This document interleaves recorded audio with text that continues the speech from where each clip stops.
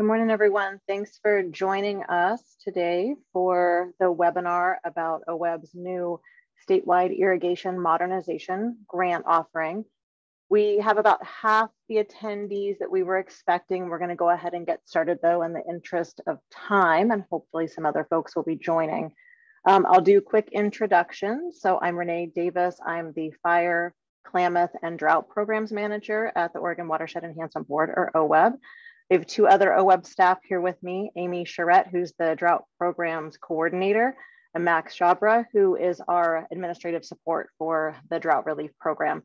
Heidi Hartman, who is the primary point for the statewide irrigation modernization grant offering, is sick today, so not able to join us. Um, but just as you're doing um, follow-up, if you have additional questions about the grant offering, Heidi will be primary point. Amy also is a great resource. Um, so feel free to reach out to either one of them after today's webinar if you have questions. Um, so we are recording this webinar. Um, we will post it onto the OWEB website um, after the uh, wrap up today, just for folks who weren't able to join um, so that they have the same benefit um, of hearing a little bit about the program and hopefully seeing some of the questions that you all have and the responses from OWEB staff about that. Um, so in terms of the flow for today, um, we will plan to just give an overview of the um, statewide irrigation modernization grant offering, and then we'll walk through the program materials, so both the program guidance and the budget guidance that we've developed for the statewide irrigation modernization program.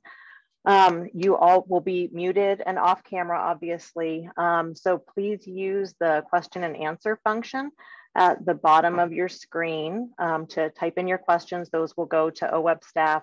And then what we'll do is compile those. Amy will read off the questions and then we'll tag team on responses.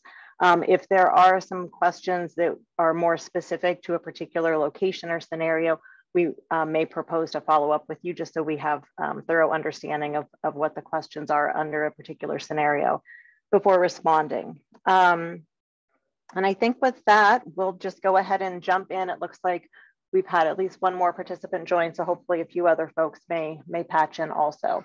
So I'm gonna go ahead and share my screen now. And so let's see. So Amy, could you give me a thumbs up if you're able to see the drought relief webpage? Okay, perfect. Great, thank you. Um, so we'll start by just um, orienting a bit in um, the drought relief uh, funding that OWEB received during the 2021 um, special legislative session.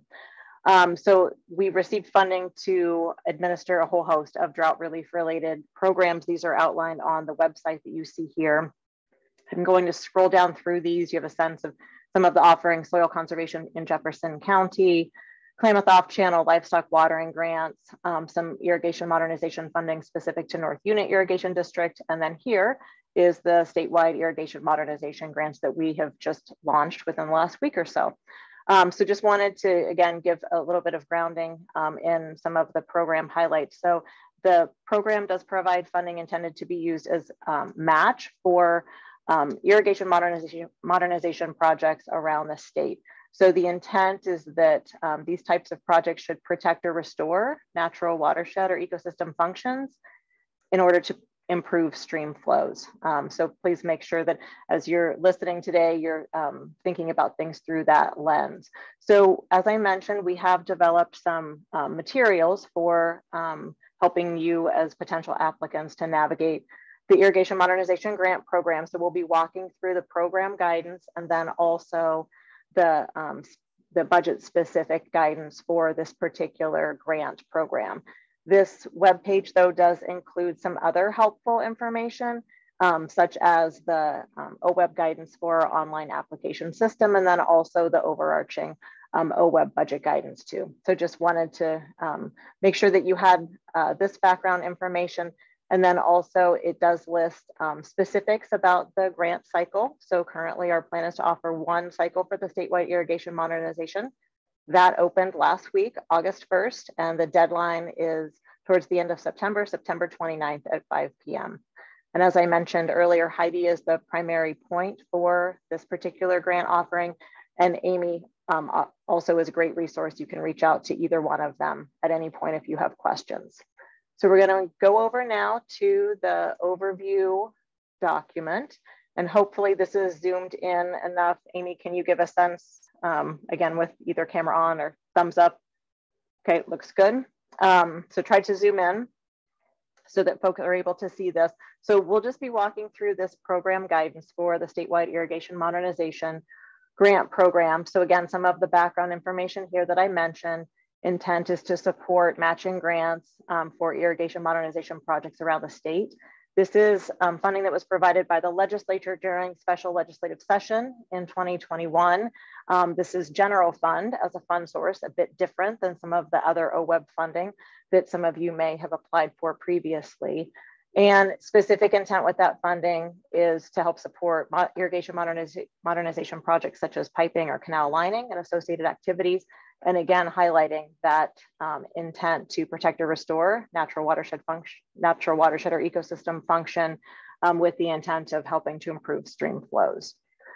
So given the general fund fund source um, for this particular program, the lifespan of these funds is relatively short. So we have until June 30th of 2023 to utilize these funds. And this is not only having the funds obligated, but also fully expended by the end of this biennium. In terms of eligible applicants, given the legislative language, irrigation districts within the state of Oregon are eligible to apply for this funding. So very focused set of applicants here. Um, in terms of the uh, lifespan retroactively of the funding, though, we are able to, um, for awarded grants and for eligible activities within those grants, provide retroactive funding back to December 14th of 2021, which is when the bill that um, funded this particular grant program was signed into law. In terms of the, um, pro, the individual um, project dollar amounts for which you can apply, so the grant awards will be capped at a maximum of $750,000 per application. I do want to note that for the entire statewide program, we have just over $1.5 million for grant awards. So we um, absolutely um, are open to you proposing projects up to $750,000, but also want to highlight here that smaller funding requests are welcome also, given that um, we are still going to need to determine the demand on this program relative to the available funding. And then ultimately, after we go through the technical review of the applications that have been received, we'll determine final grant awards based on a consideration of that total fund amount and the number of eligible um, and, and well-qualified projects that come in to the program.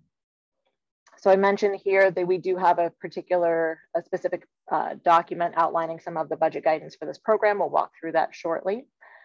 Um, again, just highlighting the um, intent of the funding from a legislative standpoint, some of the expectations in terms of this program is, is a demonstration within the grant application that local partners are working together to coordinate activities in a way that really leverages strengths and maximizes the efficiency of the work that's happening on the ground. Um, so the eligible activities within the statewide irrigation modernization grant program really fall into to two bins. First, the required activities and then the secondary activities. So um, the required activities, you must pick at least one of these activities within the online grant application that you're proposing to implement. So it could be piping irrigation canals, ditches, laterals, lining those, or upgrading existing infrastructure such as flumes or pipes. Once you select one or more of the required activities, then you can access secondary activities. Those, though, you cannot come into the grant um, offering and apply only for secondary activities those have to be paired with one or more of the required activities. So you can see here the list of secondary activities um, that are eligible. This is not an exhaustive list, but just to give you a sense of, of some of the um, supporting activities that could be paired with uh, required activities. So for example, pump installation, um, installation of flow measurement devices, you can see the list there. And certainly if you have any questions about the projects you're contemplating, feel free to reach out to Heidi or Amy or myself. We're happy to answer questions about those. Um, in terms of some of the considerations um, as you're completing a grant application and, and that we'll be considering during the review process, So given the short lifespan of these dollars, absolutely you'll want to be able to describe the applicant organization's demonstration to, um, or uh, capacity rather, um, to implement, to plan and implement the proposed actions within the short time frame um, for this legislative funding. In terms of the match, um, as with other o OWEB programs, absolutely we encourage 25% match for those other OWEB programs that's required. However, given the general fund fund source of this and the drought relief focus for this offering, we will allow applicants to come in with less than 25% match. Um, as you're um, thinking through potential match funding for your project, you definitely would um, want to emphasize how this funding, the state funding would leverage, leverage other funding sources, um, including certainly the PL 566 program that Natural Resources Conservation Service offers, but it could be other programs too that this could provide helpful matching funds for. And just in terms of um, full transparency for awarded grants, we will require post-implementation status reporting for a period of five years.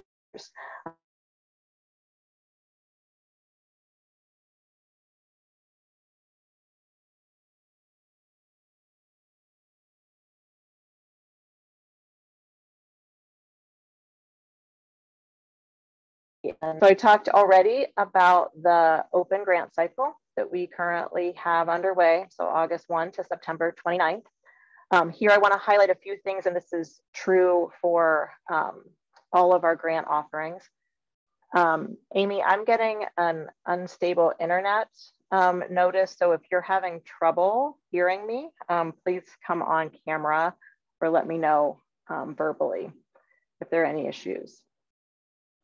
Um, so in terms of applying for our a grant with OWEB using our online grant application system, um, a few things that are really important to keep in mind. One, we strongly recommend that you submit your grant applications at least 24 hours prior to the deadline um, in case there's any um, surprise when you're going through the verification or submission process. Um, and it will allow you time to address any of those issues. And all applications must be received by the 5 p.m. deadline on um, the set application date, in this case, September 29th, and no exceptions will be made.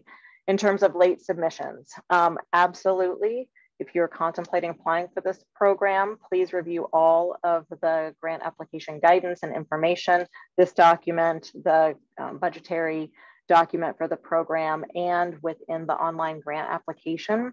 Please pay attention to um, the supporting information about each of the application questions, including the I buttons, which provide some um, helpful rules of the road um, to applicants as you're coming in. Um, so do make sure also to check and make sure that you've um, submitted all required uploads um, that are included with the grant application. And then in terms of awarded grants for those folks um, who are grantees um, under this particular program, um, we will require uh, quarterly billing and progress reporting to ensure we're seeing um, good progress being made on implementation and spending um, of those general fund dollars. So in terms of the evaluation process, we're um, using the OWEB Restoration Grant Administrative Rules as a foundation in terms of the evaluation criteria.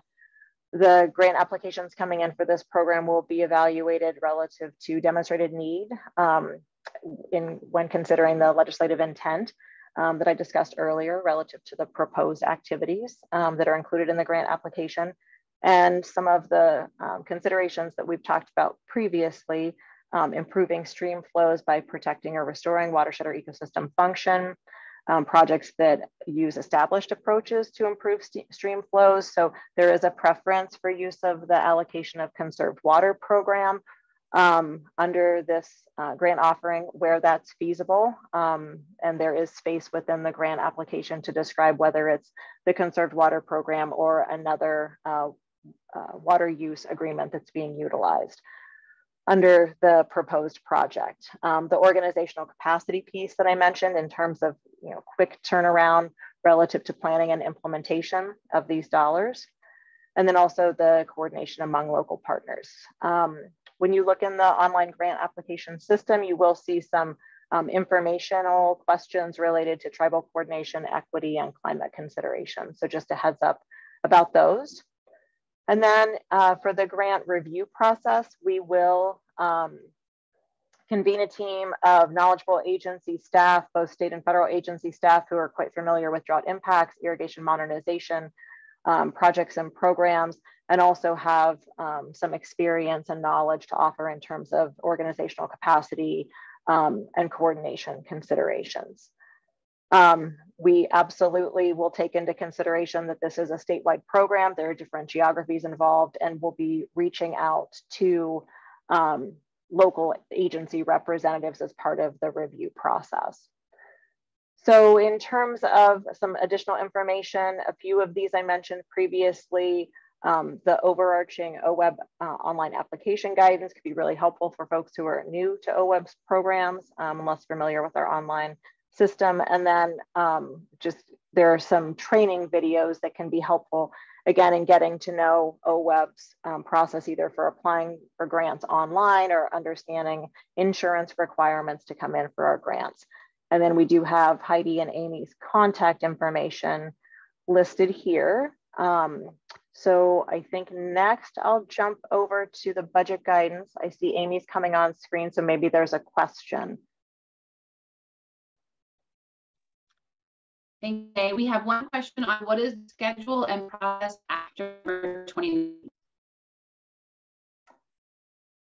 Amy, it may be my connection, but you were cutting in and out. Can you repeat that? Sure. What is the schedule and process after September 29th? The schedule and process after September 29th. Okay, so um, September 29th is the grant deadline. I'll scroll back up here. Um, so we are in the process of convening the review team now. Um, I would estimate that within two to three weeks after the deadline is when we would convene the technical review team meeting um, to discuss and review the applications. But prior to that time, OWEB staff internally go through an eligibility review of the applications that have um, been received.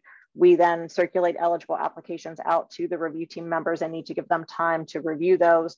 We'll hold the review team again, estimating, you know, within two to three weeks of the deadline, giving folks time to read the set of applications that have come in. Um, and then following that, staff will go through a process to uh, write up the um, reviews into evaluations and work through the grant award process. So this is where um, we're estimating that within four to six weeks following the deadline, award decisions will have been made and we'll be engaging with the successful grantees in the process to get um, grant agreements in place. So Amy, just let me know if there are any um, follow-ups from that. Okay, super. So we'll jump over to the budget guidance document now. Hopefully you can see that I have it on the same Zoom level. So this budget guidance is specific to the statewide irrigation modernization program. So we develop um, this guidance in the instance that there is something that is um, different or unique about a particular grant program as compared with OWEB standard budget guidance. And given that we are utilizing general fund dollars um, to support the irrigation modernization program along with the other drought relief offerings, um, there are a few things that are unique. So we've developed this to, to help you focus on some of those additional budgetary considerations. Um, so one is that um, there definitely with the general fund programs is an emphasis on on the ground work. So this is not to say that you cannot build in some amount of indirect or some other project costs, but really being mindful of keeping those to a minimum to um, demonstrate that the majority of the funding is going to um, on the ground work related to irrigation modernization. modernization. Um, again, this is just really underscoring that the eligible activities for the program are divided into two categories. You have to come in for at least one. You can come in for multiple, but at least one of the required activities outlined here to then be able to propose um, companion or complementary secondary activities as we discussed previously. Um, so just really um, making sure to, to highlight there. Um, and then some of the things we have talked about previously, but just to, to reiterate, um, for um, successful grants and uh, for eligible costs and activities within those, expenses can be retroactive back to December 14th of 2021. The receipt requirements will re remain the same as for other OWEB grants, but there is some space for retroactivity um, on this work. And then as we talked about previously, the award cap will be $750,000, but absolutely smaller funding requests are welcome given um, consideration about the total uh, pot of grant funding available for the statewide program. So again, just uh, reiterating what we had talked about previously. Um, the budget categories do not allow for contingencies um, for this program, just given um, the limited pot of funding available and the relatively quick time frame. Certainly though, as you're contemplating um, your budget and developing your budget, if you have questions given um, issues such as you know, recent cost increases that you might be facing around materials um, or supplies, please feel free to reach out to OWEB staff to talk through questions you may have about that. Um, promotional activities and extensive stakeholder engagement are not allowed under this offering. And you can see there are also some other um, disallowed um, costs, websites, meeting room rental, software purchase, etc. Equipment purchase is allowed, however, it would need to be just justified and it will be evaluated within the context of um, its necessity for achieving the project outcome. So if you have questions about um, might a particular piece of equipment be um, reasonable to request in uh, your grant application, feel free to reach out to OWEB staff to talk through that. Equipment usage rates are allowable um, and rental rates um, for different equipment may be um, uh, charged um, by grantees, but do note that um, OWEB fiscal staff may come back with questions or requesting additional information about um, rental rates and in terms of calculations. Um, indirect costs are allowed within the program, but going back to my comment previously about um, really maximizing on the ground work, we are capping indirect costs at 10%. So for any entities that do have a federally negotiated indirect cost rate, the difference between that 10% um, cap um, and your, your particular cost rate can be used as match.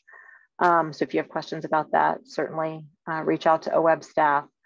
Um, and in cases of using um, a, a, contractor, having any subawards within that, again, just being mindful of minimizing indirect costs.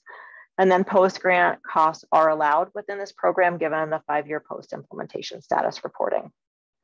So then just a few other items we've talked about previously, the requirement for quarterly um, billing and progress reporting. Um, in terms of advances, we will allow those within this program, but um, all of those must be um, essentially proven up by March 31st of 2023, given the time frame for the program. Um, again, um, talking here about the funding end date, and then the quarterly progress um, and billing that's required, and then just to underscore all spending and all activities proposed must be completed by the June 30th, 2023 deadline for those activities that are funded with the state general funds under these grants.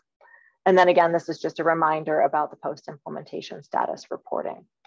So that covers it in terms of walkthrough of both the program guidance and the particular statewide irrigation modernization budget guidance. So I'll check with Amy and see if any other questions have come in via the Q&A. We do not have any more questions right now.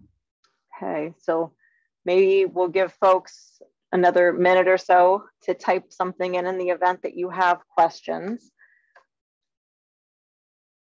Um, and if you need some time to ponder um, all of this information, I know it was a lot. Um, that's perfectly okay, but feel free to reach out to OWEB staff. Okay, we do have uh, another question. Um, and this is, is this meant to be used in conjunction with the OWRD ACW program? And what is the main reason we would apply for this grant and not the ACW program? Um, I, I believe I understand the question, but I, um, I, I, you may need to ask a follow-up. So the allocation of conserved water program is a program within the Water Resources Department um, to essentially um, document and ensure in-stream protection of um, conserved water. Um, so as noted in the program guidance, I'll hop back over here. Um, there is a preference for use of the allocation of conserved water program. So that's more of an administrative and um, an administrative process that you would go through with Water Resources Department. Um, and so grants provided under this program do have a preference for use of that Water Resources Department program.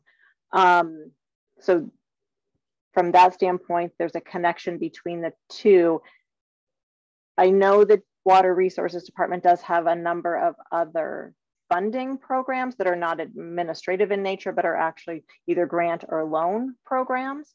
Um, and so certainly if one or more of those programs is a better fit, then absolutely take advantage of that funding source and, and pursue that. Um, this is really an additional opportunity um, provided as part of the legislative um, investment in drought relief, I think, to help um, provide an additional source of funding um, that can serve as state match um, for important irrigation modernization projects that are ready to hit the ground running and may need some state match or non-federal match um, as they're working through other funding programs such as the federal PL 566 program.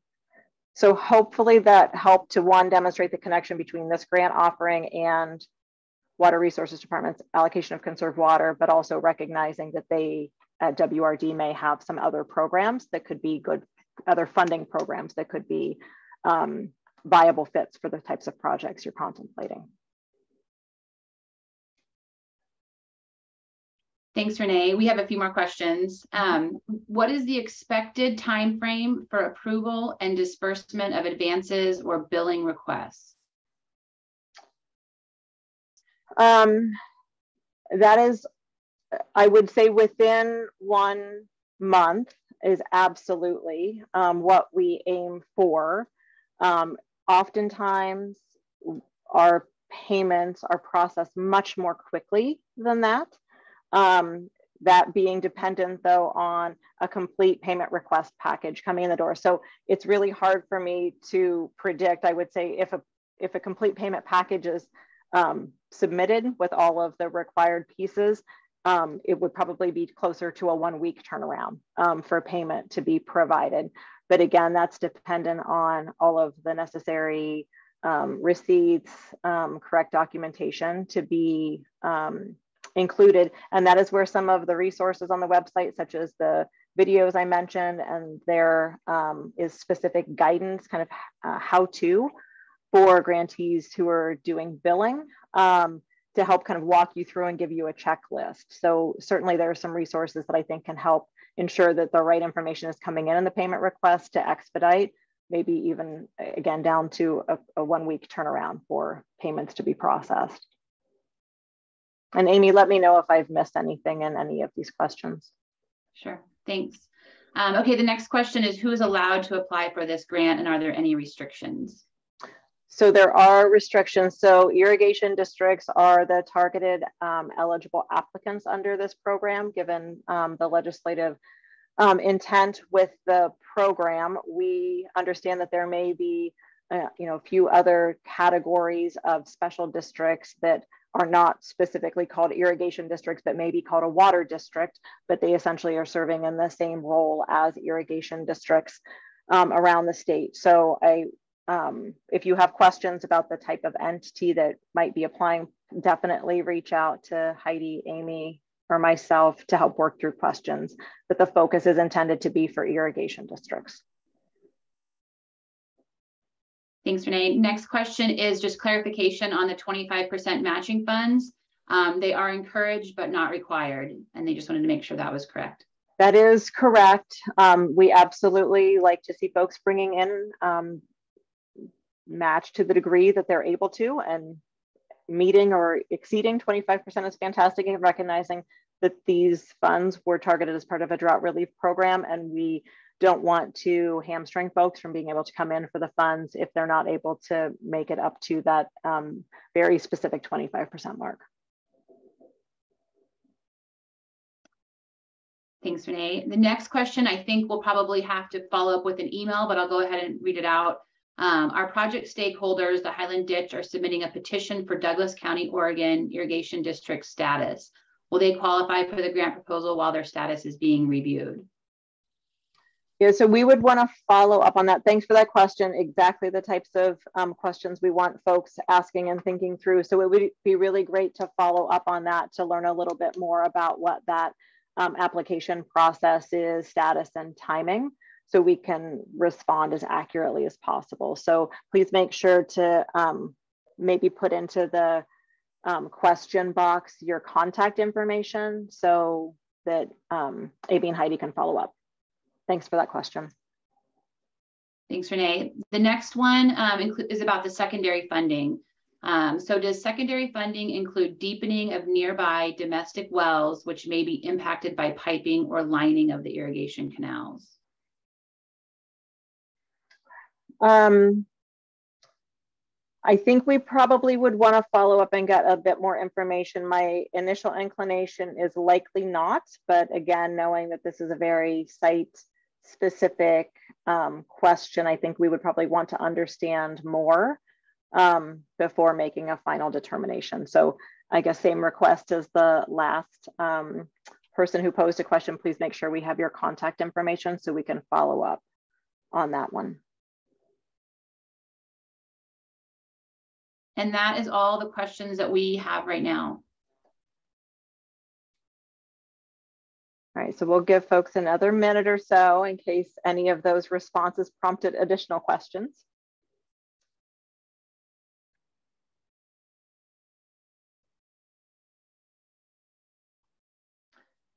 At least on my Q&A, Amy, it looks like maybe another one or two came in, but I could ha be having a lag time because I'm sharing screen.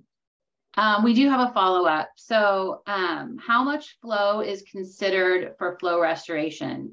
Is it a percentage of the conserved water from the project, or is it a percent of the total water right? Um, so we are not setting a particular um, rate or percentage in terms of this program. I would say going back to my response about the allocation of conserved water program, I know that for example, that program does have some specific percentage requirements associated with it. And I believe it's at least 25% in stream, but I absolutely would defer to folks at Water Resources Department. Um, we're happy to connect um, you up with the right folks at WRD who are working in the conserved water program so um, we can understand specifically given the project that you're proposing relative to if that is the um, particular administrative tool that would be utilized to conserve water, what um, the final determination would be for that and whether it's funding based or um, water right based relative to your particular project. Thanks, Renee. That's all the questions that we have right now.